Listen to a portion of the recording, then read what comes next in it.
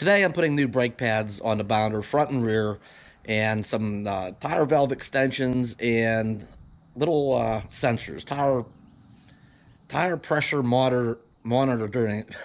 Can't say that this morning. Tire pressure monitoring system.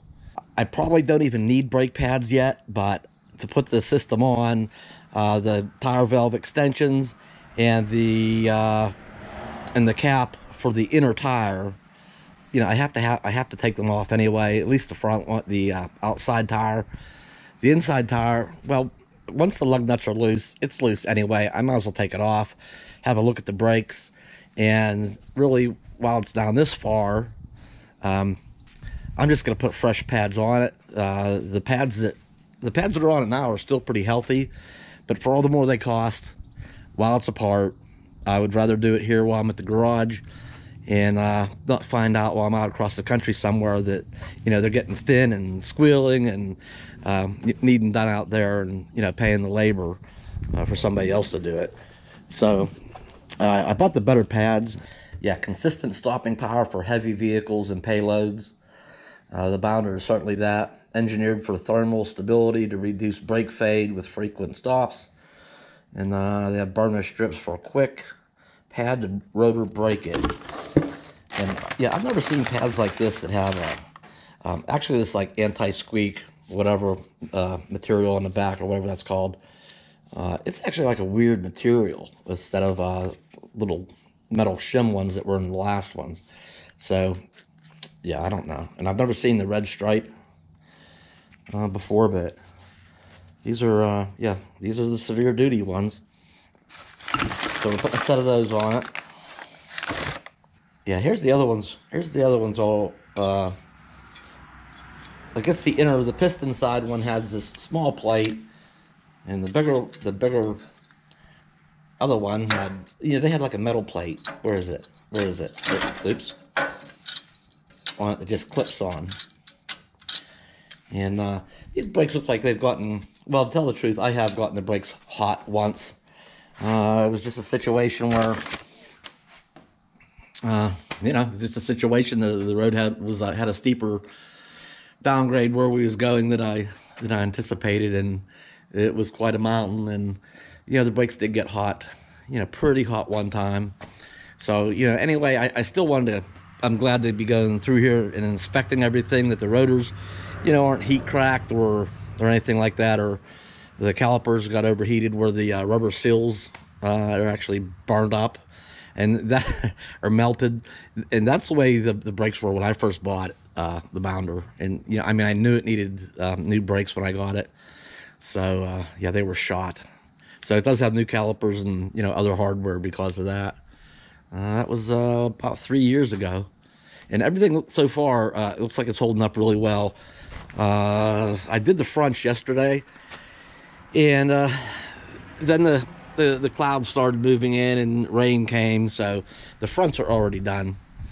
And today, yeah, looking at that sky, yeah, I'll be good. It's supposed to be nice all day. And uh, it's early. I'll have these done well before lunchtime. Yeah, and here are those uh, extensions. Uh, I, I, set two of them aside. These are, they actually came in a pack of four, but I only need for the uh, for the inners, uh, the inner dual wheels. So these will reach out and easier to put air in them. And the tire pressure monitoring system, uh, we'll get to that here in a minute. I have to go over and get those. And these brakes are incredibly easy to do. Uh, I mean, at least just putting fresh pads on them. These rotors still look really good.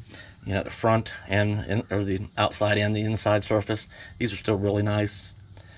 Uh, let me see. And the only thing that holds this caliper on is, where is it? Where is it?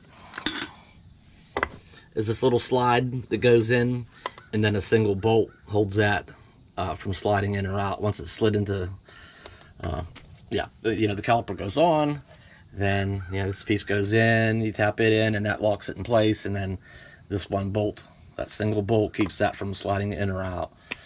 So yeah take that one bolt out tap this thing out. This whole thing just lifts, lifts off of here and uh, that's it. The new brake pads pretty easy here. This just sits in here. Actually, I'll need two hands to. It's a really um, kind of nice, neat fit. So, oh no, it's in place. It's uh, that easy. And then the other one actually sits um, back in here. There's two. There's two uh, notches where this slides into place, and it should be right about, right about, and you can feel easy. Come on, come on, come on, come on. There it is. There. So that's in place. I just put the rotor back on there, tap the thing in, put the bolt in it, and that's it. Put the uh, inside wheel on, put the extension on it, then I can put the uh, the outer wheel and tire on it and put the bolts all on it, and it's a done deal. I needed both hands to do that, but that's how the caliper sits on there. Uh, sits between you know this piece and this lower piece, and yeah, the thing slides up here. Uh, the bolt goes in right over here. And, uh, that's about it. Here's that piece. I needed uh, both hands available, and uh, once that's it, so it took a little bit of doing to get it uh, started. But you know, you gotta tap that piece back into that bolt hole looks centered in there. So we do have a little bit of step-by-step -step going on here. And it has a second hole because these are kind of universal. You know, it's opposite on the other side, so the bolt would go, you know, so that's what's up with that. I'll put the bolt in there and then that's that's locked in place. The caliper can't go anywhere. And the new pads are in it. And uh, I'll get busy getting the wheels put back on it. All right, there the air compressor shut off. Yes, I'm using air tools to uh, uh, yeah, take the lug nuts off, get the wheels off, and then uh, and to put them back on. But then I have a torque wrench and uh, the bounder, at least this year bounder, uh, it has a particular torque specification on how tight to tighten the lug nuts, but all right, that's we're good. And uh, for safety's sake, I do have the bounder uh, supported more than just that bottle jack. You know, the leveling jacks are down, uh, the front wheels are chalked, and uh, it's not going anywhere. And I have uh, these under here just in case, you know, while I'm under here working on it. And at no time do I actually get, you know, really under the bounder. Uh, maybe my arms a little bit to, to work, but, you know, if something were to happen to fall, I mean, I'm not, I'm just always real careful not to put any body parts where they could get you know, pinched or smashed. Uh, but we're good. We're good. Of course, this is all. of course, this is always the fun part is wrestling these uh, big old wheels, tires back on here. I'm trying to get the lug nuts, getting the holes all lined up. There we go. Yeah, I made it look easy. I've I've done this once or twice.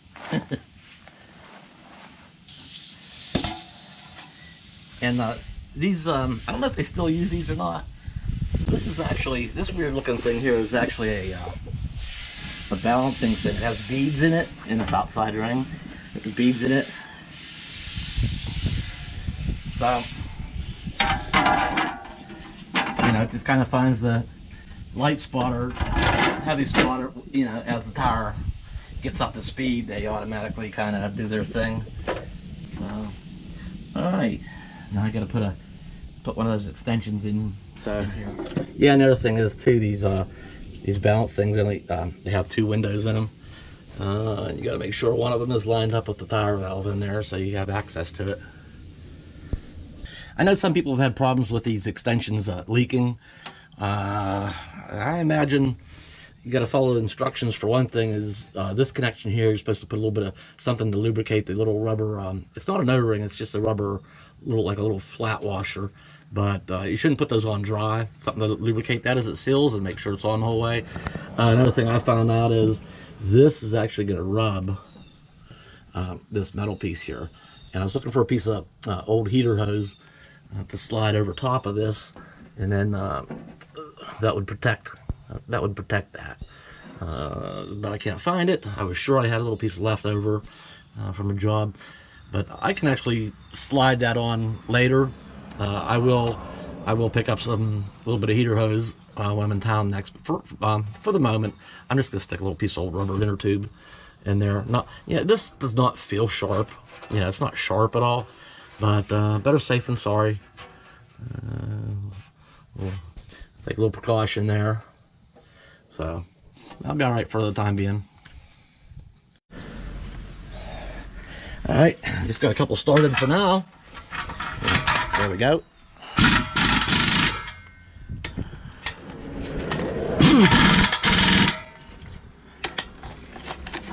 Come on, get on there.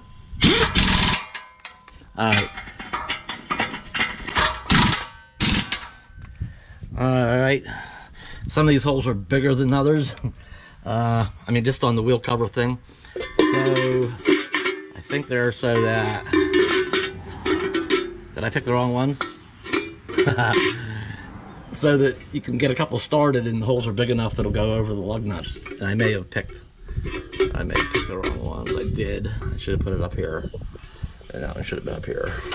I did that wrong. Yeah. yeah make this easy. I just put the top one in. that it, these tend to lean out, so it'll it'll draw that up nice. And uh, I'm sure I got it right this time. All right, now I can just go ahead and. I almost forgot the uh, uh, this hardware. This is supposed to clamp on the outer wheel, and then uh, you know the hose goes through this loop, and that keeps it uh, kind of centered in the the hole through the wheel cover. So I gotta put that on the outer wheel, tighten that bolt down, and uh, with the hose through there. So we'll get that done. Okay, here's that tire pressure monitoring monitoring system and it goes from left to right on the vehicle. Um, one and two is the front, so driver side, passenger side, and then the, across the rear. Let me get number three over here. Uh, kind of same thing on the driver side, outer, inner, then passenger side, inner, outer. So I uh, I still have the uh, driver's side to do in the back. So these will be number, yeah, number five and six are the ones that need to go on the, the wheel that I'm working on now. So these just get screwed onto the valve stem. And then there's a actually a lock nut goes on first, and then you screw that on until it uh, until it just stops. And same thing, that little rubber um, that little rubber flat washer on there that seals it. That it needs something to lubricate that just a little bit. Uh, use it very very sparingly. And then uh, once that's screwed on, then back the lock nut up till it comes in contact with that and snug it so that uh, you know, this wouldn't you know work its way off somehow. So and this is the display. We'll have to get that out and uh, we'll get to that. Okay, this turned out pretty good. There's the, uh, where is it? I don't know if you can see that or not. It's in there though. There it is. And little lock nut behind it. So that's actually the outer one. The outer wheel that points in and the inner wheel that uh, points out. I had to put that little, uh, yeah, I had to put that little uh, clamp thing in there. Hose goes through there nice. Uh, this isn't, uh, you know, rubbing up against here. Uh, this monitor is on. Lock nuts on it. So there we go. That'd be so much easier um, adding air if I need to. and with these, I'll, I'll know if they're getting low. Hopefully there's no leaks with any of these. Nothing's faulty or defective product that I don't have any problems with leaks. But uh, yeah, well, see what goes on here. And I uh, put these all on with the impact, uh, you know, run them all around there. But uh, you know, this this impact's probably not. You know, a lot of uh, older era impacts are not as uh, strong as not as strong as you might might think. You know, maybe for a little car, it's probably make maybe makes them tighter than they need to be. But on something like this, they they're not tight enough. So I'll have to go around there with my torque wrench and uh, you know torque all these to 170 foot-pounds is what the uh, uh, the bounder spec is. And uh, so that's it. Three out of four wheels are done. I'm gonna get the other side taken care of, and uh, we'll we'll get back on here. Okay, I have the other side done, and I'm using the uh, you know the remote to bring all the jacks back up. All right, the rear's all the way up. Let's make sure the fronts are up. Yeah. Okay. So she's all back on all four again. Now, I need to get that uh, display that, uh, for those uh, tire pressure monitoring system. now, I don't know if they're all going to read right off the bat. They may all come online right away and but I think I've read somewhere because I do I do check reviews on stuff that uh, you actually have to by design actually supposed to take it for a take it for a ride and that kind of activates activates the ball but yeah in the reviews it said I think like five out of six you know they all came right on right away but it wasn't until somebody uh, you know that person had took it for a ride that they all came on so let me see what we got here uh, it does have a, a, little solar panel on top. So if it's on your dashboard, it uh, automatically recharge. Or there's a little, uh, you know, port there for charging. But in the uh, menu, the setting, yeah. So I don't know if it comes in PSI by default or bar. Uh, oops. there we go. Let's drop it right off the bat. Let's see how we turn this thing on. Maybe we maybe uh I don't know how to turn it on. Maybe push and hold the set. Maybe it doesn't come charged. May have to plug it in. yeah. Shoot. Well, it did come on and it's beeping.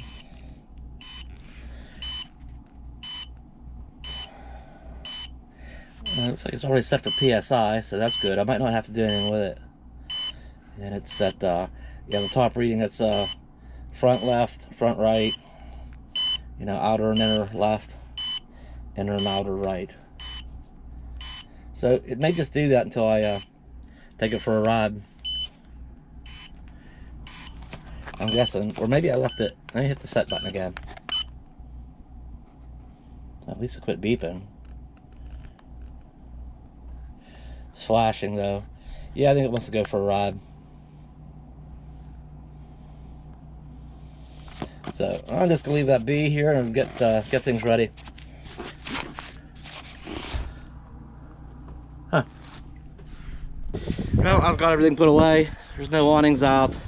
All the blocks are out. She's down on her down on her feet again. And uh, Bella's in there says, "Yeah, I'm I'm ready." So I think I got all everything I'll put away. and first thing I need to do, because I was working working on the brakes, is go in and make sure I, you know, pump them up. Uh, make sure I have a good brake pedal. Uh, that happens when you do brakes. Gotta pump. Gotta pump them up before you go. Just putting it in gear and taking off. All right, I think all systems go here. See how Betty's feeling today. There the automatic steps come in. All right. So these are still blinking. I think, uh, see what happens when we get this thing rolling. I think in those sensors there's a, you know, centrifugal force uh, activates something that it knows to take a reading. And uh, Oh yeah, we have the backup camera all mounted in the back. Put that in here. I think I already showed that to you. Let's turn that on. One, two, three, come back. I turn my uh I turn my parking lights on. What's wrong here?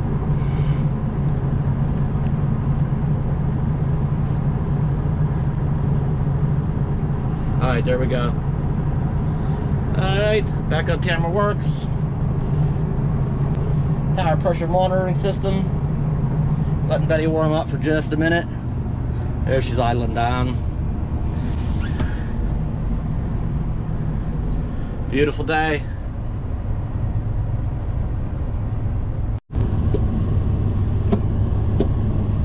Give them a few pumps. Oh yeah, about that feels better after just about two or three, I can feel it. First one was a little soft, but second one better. Yeah, we're good.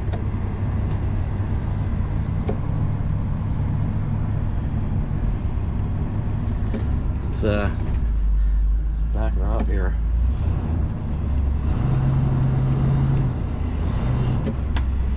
Oh yeah. Yep, she stops. Yeah, we're good. All right, I'm gonna shut this off for just a minute. All right, we're gonna pull over right here. Nice little turnaround spot. See how things are going. And we get backed up here and spun the right way. See what Bella thinks about all this. All right, we're looking good there. And you got some backup camera going on.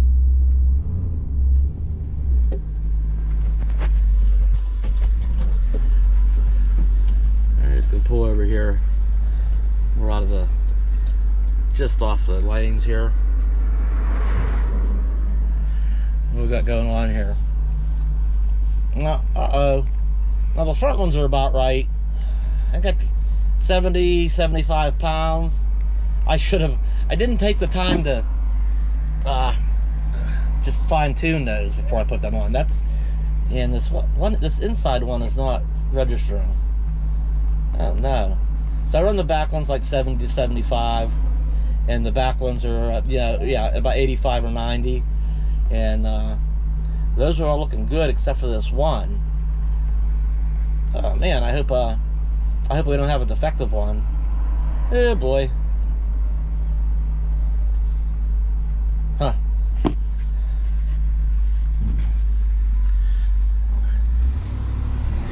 Yeah, I really don't want to take those back off and return them. That's not that big of a deal. I will if I have to. Alright, let's get back and see if it decided to cooperate or not. We're back and the good news is it came online. There it is. We got, uh, what's the latest? Um, up front, 73 and 70. Um, that's fine. I'm, you know, I like to stay within five pounds of each other. 73 and 70, I like 70 to 75 up front. We're going to say that's okay. And uh, about 90, I like 90, 95 in the back. Just because I did have the bounder weighed. Or, no, no, no, it is 80. No, that's correct. It's 85 to 90. 85 is my target. And, uh, it, um, so I run 85 to 90. Those backs are all in spec. Uh, in the, the fronts, 70 to 75. I mean, they're, they're good. They're, they're I'm happy with that. I'm happy with that. I like it. And I think I can go to the menu and actually set, um, you know, a low pressure and high pressure alarm. So, you know, if one drops below, say five or 10 pounds lower, you know, um, it'll, it'll uh, set off an alarm and let me know, alert me, alert me to it. So I, I think those measure temperature too, although that wouldn't, uh, that doesn't do real good on those inside tires that I put the extensions on. So, all right, I guess we're done with the, uh, I didn't need the backup camera really, uh, but it's nice to have. It actually would have saved me uh, an incident I had. Maybe I'll, start learning to use it in different situations. All right, what else going on uh, with the bounder? I have been looking at some uh, awnings. I'm probably going to replace I, I might go ahead, just go ahead and replace all the awnings on it too. I, I know some of you uh, will say, what are you putting all this money and work into it if you're selling it?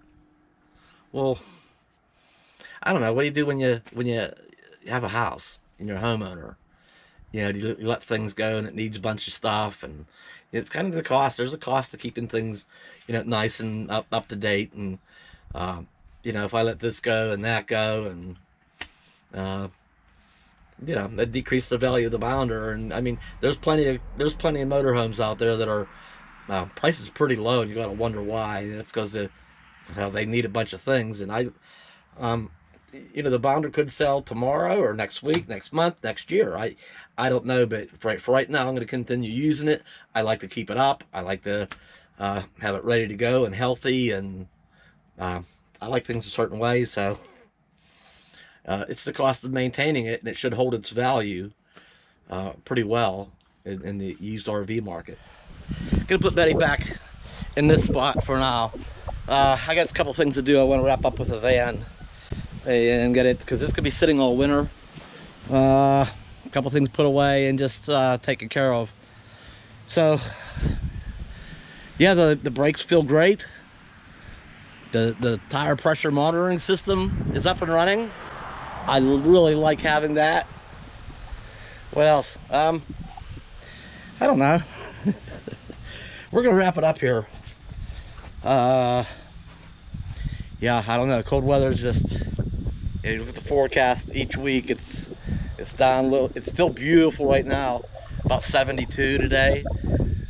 Sunny, clear skied. But like next week, like in two weeks, then it's like a high of 60. Two more weeks, it's a you know 50-ish in a little bit, and it's it's we're at the end of the nice weather. So I'm, I'm enjoying it, and uh, it's it's beautiful. But it's uh, it's going away soon. And speaking of going away, all right, I'll see you next time.